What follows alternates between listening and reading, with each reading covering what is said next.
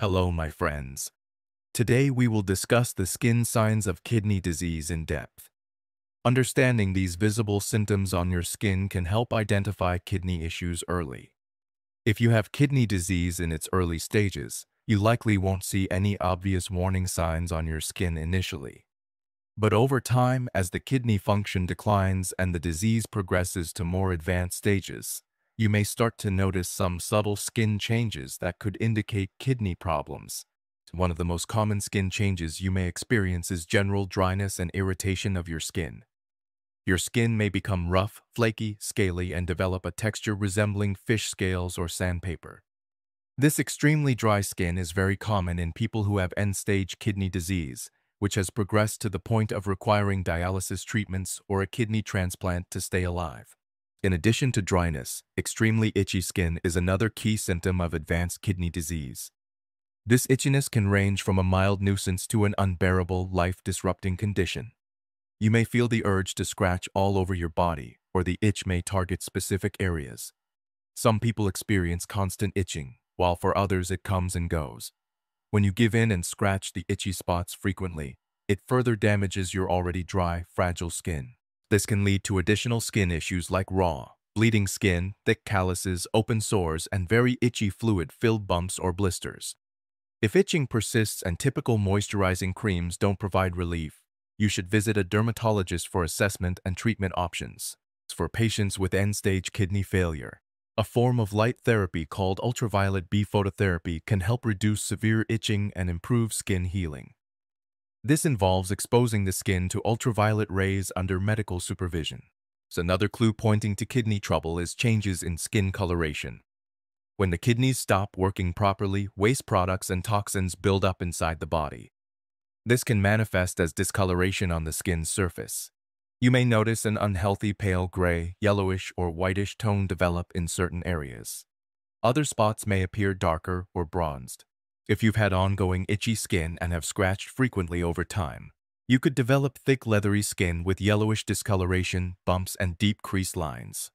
You may also see cysts or pimple-like spots that resemble whiteheads. However, keep in mind many other skin conditions can also lead to these changes, so kidney disease is just one possibility. In advanced kidney disease, you may notice changes in the appearance of your fingernails and toenails as well. Kidney dysfunction can affect the growth and pigmentation of the nails. Some people with severe kidney impairment get a white discoloration in the nails near the base, while the tips remain a normal pinkish hue. This gives a half-and-half two-tone look. You might also see horizontal white bands striping across one or more nails. The kidneys play a key role in regulating fluid balance, removing excess water and sodium from the bloodstream. When they can no longer perform this function efficiently, fluids start to build up all over the body.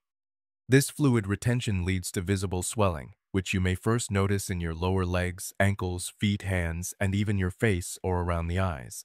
Kidney disease can also provoke inflammatory skin rashes in some instances, these can appear as small, dome-shaped, extremely itchy red bumps. As existing bumps start to clear up, new crops will continuously form. In severe cases, the bumps can merge together into large rough red patches with overlying scales. Those with end-stage kidney failure may also develop fluid-filled blisters and bumps on their hands, feet, and facial skin. These result from bursts of inflammation in the deeper layers of the skin. In rare cases, you may notice a new lump or mass growing on your abdomen or lower back. While this is an uncommon early sign, it could potentially indicate kidney cancer rather than standard kidney disease. Since kidney cancer typically doesn't cause symptoms in its early stages, skin changes like an abdominal mass often arise late when the cancer is more advanced. But many benign conditions can also cause lumps, so it's important to get evaluated by your doctor. Some patients with kidney disease develop firm deposits or nodules of calcium in the skin, especially around joints.